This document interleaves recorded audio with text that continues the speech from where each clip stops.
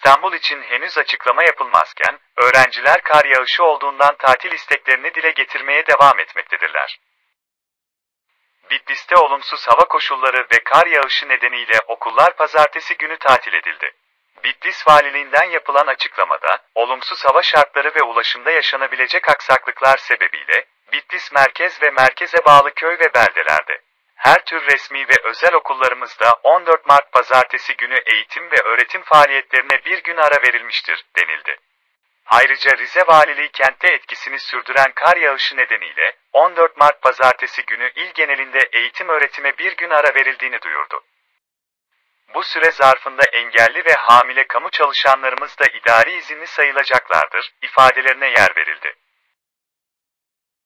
Bunun yanı sıra Hatay'ın Yayladağı ilçesinde devam eden kar yağışı nedeniyle eğitime yarın ara verildi.